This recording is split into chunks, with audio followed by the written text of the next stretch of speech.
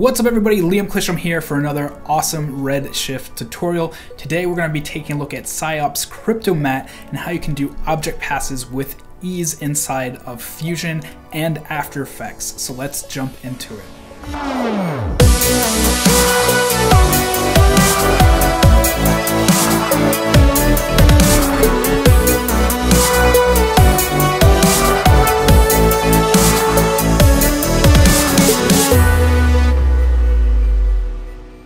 Right, so before I jump into anything, I just want to give a shout out to PsyOp, who has worked with Fusion and Nuke and internally to create Cryptomatte. So um, if you go to github.com slash psyop slash cryptomatte, you can download Cryptomatte and install it in Fusion or Nuke. There's a beta out for After Effects, which you can get down here for Windows and Mac, and you can walk through the installer for that. I'm not going to go through that, but I am going to show you both how to use Cryptomatte in Fusion really quickly and how to do it in After Effects as well. So first off, let's jump into Cinema 4D. So getting started with Cryptomatte inside Cinema 4D is really easy. Redshift has made it pretty simple. It's just like one selection in the render settings and your AOV settings.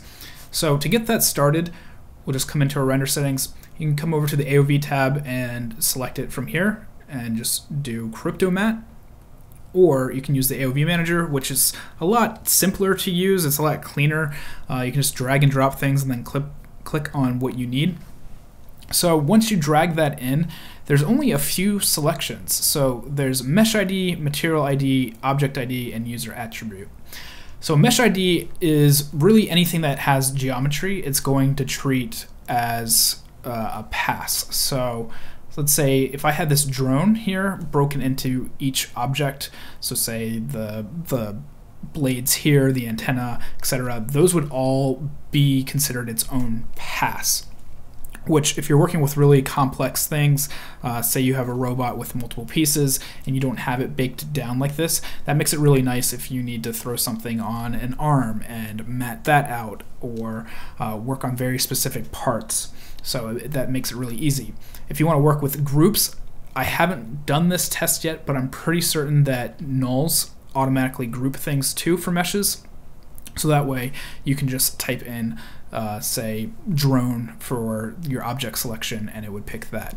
Now going back into our AOV settings in Cryptomatte, material ID is just like you would expect. So let me click on this here and you'll see every material in Redshift gets an ID number. So if I was to set this to one and this glass one to say two, when I go into Fusion or After Effects, it would choose that way by material ID. So if you have uh, like all these drones are all using the same material, it would make it really easy to just select all these drones at once. I have this floor with a little bit of glass on it, so it'd be really easy just to select anything that has glass, same material, etc., etc. Object ID is just like using uh, an object buffer. So you come in and you set your Redshift Redshift object tag and so I've got this as one, and then these other drones are set to two, et cetera, et cetera. So when I go in to Fusion or After Effects, I can say, okay, object one, I want just this matted out. Object two, I want these two matted out. And you get a little bit more control over it. And then if we go back in, we have user attribute where you can type in different user attributes. That's really good if you have done custom AOV passes inside your materials it'll pull those out for you. So that's really it. And then I'm gonna go ahead and hit play on this and get a bucket render really quickly just to show you what it looks like for a pass. And you're gonna see that it actually doesn't do anything. Um, it processes upon final render, so you can't actually preview it in the render view or IPR, just like you can with like a depth pass. Um, so just keep that in mind. It is working. I've, I've done this a bunch of times now as a test, and it, it seems to always work. So that's pretty much all covered for the Cinema 4D side. You hit render, let it go, and then you jump into your program of choice. So next we're going to jump into Fusion. So here we are in Fusion, and you'll see on the left side here, I've got this base, which is just like a beauty pass, and then on the right is Cryptomatte. So this is what it actually looks like. So if you want to get this installed, go check out the website I showed earlier. It's pretty straightforward. You can also use Reactor right here, and that makes it really easy too. Just do a search for CryptoMatte and it will install it for you. So uh, to pick your mat selections, the way this works is you get this little position icon, and you can move it wherever you want. If I hit add, there we go, I have to be selected first. If I hit add, then it will add object ID 1 here. So if you remember back in Cinema 4D, I made this front one object ID 1. Now if I come over here and I'm just going to remove, oh, you have to be selected first, hold on. If I move, remove object ID 1, come over here and do add, you'll see object ID 2 and these two get matted. I'm just going to remove that and then you'll see down here floor, which I have as object ID 4 for some reason, skipped 3. So let me remove that and let's just work with the front one here. Add that in and you can just select it so it's matte only if you prefer that. I kind of like having this so you can see all the different mats available.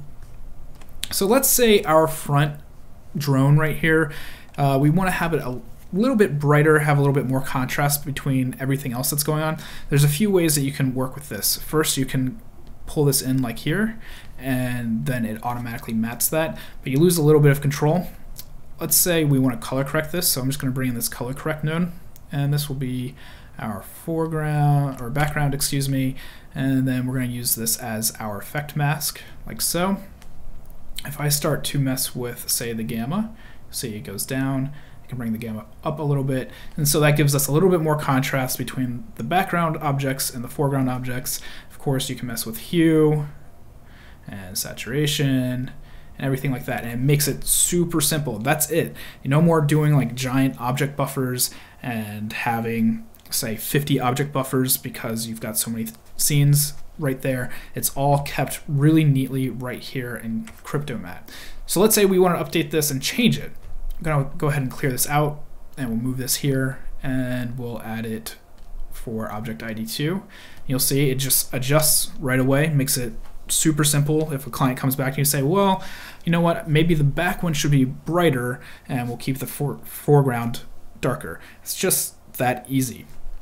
Again, come in, make those changes, and you'll see it will update everything. Um, of course, you can do more passes for like emissions, so that way you can mat that out there if you want to keep those red and however you want to adjust things and build up your comp.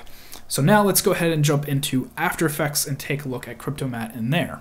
So inside After Effects, it's pretty straightforward. It's just like working in Fusion and Nuke, or if you've ever done compositing inside of After Effects, you know, you bring in all your files, all your passes, and then you put them into a comp. So that's what I've done here. I've got our beauty pass, I've got this CryptoMatte pass, and here they are inside this comp right here. Now you're probably seeing that this is black here, and if I turn this on, this turns black. Don't be alarmed by that. That is mostly because no offense to after effects it's not like a true true compositor. It doesn't see all the details uh, that fusion and nuke do so you're not going to get all those colors. And you have to put on the CryptoMatte effect before you get that. So i'm going to go ahead and go into the effects panel come up to effect 3d channel and you'll see CryptoMatte in here if you've installed it. If you haven't installed it go back to the beginning of the video and check out the PsyOp github page. But CryptoMatte is made by the same people as the Extractor plugin, so just like you would add Extractor to do object passes, it's the same idea. They're, they're treating it very much the same way, so we'll just do CryptoMatte right there. And then we get all of our colors. One of the downsides too about using After Effects is that you can't just like pick whip stuff or have a selector the way you can in Fusion and Nuke. You actually have to know your pass IDs. So I believe it's just object ID underscore one for my front one. Let's see if I'm correct on that. There we go. Yep. So you have to type everything in, and that can be a little bit tedious, um, especially trying to remember what every pass is and every little nuance thing, and you might be hopping back and forth between programs. So I'm hoping that they'll update that. I also I don't know what layer and manifest is because I only just installed this and kind of ran with it and expected it to be the same way it was with Fusion. Um, so read the manual, of course, So read the manual, of course, and uh, dive deep into that if you if you want to use After Effects. Um, I'm, I'm going to push that you guys use Fusion, but this is how you get started with it. So down here, you're going to go down and choose Illumimatte. And then you can see that we've got this isolated there, and then we can go ahead and throw like an exposure on this and turn that down, maybe offset a little bit, and then you'll see we start to get some of these coming through back there. Um, so you, you, probably have to play with it a bit. Maybe you have to do like uh, a pre-comp with everything too, but you get the idea. It's like I said, a little bit easier to handle inside Fusion. All right, that's it for this one. If you guys have any questions, go ahead and hang out with us on Redshift Thursdays. They happen every other Thursday. Come into a live chat, ask me questions, hang out, talk about what's going on with Redshift, see if there's any updates that have come out. If you see something on Instagram and you want to know how to make that inside Redshift, I try and break those down and go through it as well. As always, thanks so much for supporting me, and I'll talk to you soon.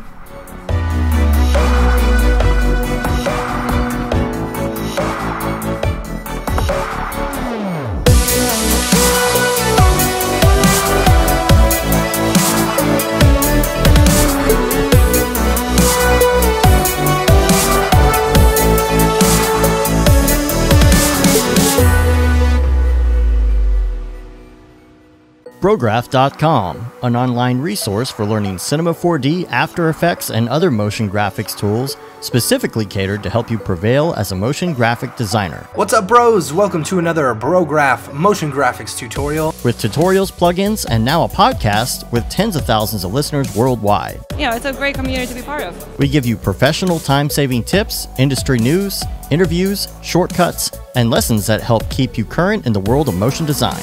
Join HDR Studio, take the render settings, pick the HDR, put in reflection, and gorgeous.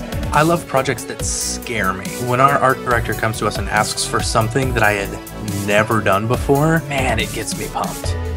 Our weekly long form podcast will give you the latest news, help you in your file management, hardware configuration, and client relations. Learn about the latest render engines, modeling techniques, and workflow integration while staying entertained. Real nice banana. That's so funny. All right. I'm going to live forever. Our Brograph Talks are a chance to see the way industry leaders from around the globe are changing the face of motion design. Sometimes you got to make stuff that you're not going to put on your reel, and I'm not here to judge. The podcast and talks include people like Beeple, Barton Damer, Nick Campbell, Andrew Kramer, David Ariev, Chad Ashley, Paul Babb, EJ Hassenfratz, Mitch Myers, Chris Schmidt, Jules Urbach, Cornelius Dammert, David Brodeur, Andy Needham, Caitlin Kaju, Zubair Parker, Noseman, Ryan Bean, Casey Hupke, Nick Lyons, Sage, Joey Korenman, Jeremy Cox, Rick Barrett, John Dickinson, Matthias Omotola, Patrick Goski, Brandon Clements, Steve Teeple, Tom Glimpse, Patrick Longstream, Julia Simone, Devin Coe, Al Heck, and even Deadmau5. You get that render done. Yeah, you better frame frame what? Our Brograph breakdowns go behind the projects and give you an insight on what it's like to manage and maintain your own personal business or work for a large company. Join us for live sessions, check out our useful plugins, watch time lapse projects, interact with us, and send us email questions and topic ideas. Or just hit the Rando Render button and do an imaginative daily that'll keep you on your toes. Take all your dreams and let's do it! Subscribe today and get automatic updates on the latest tutorials, tricks, tips, and inspiration brought to you by industry professionals Dave Koss and Matt Milstead. We don't care how you get here, folks. Just get here. Subscribe now to Brograph Tutorials.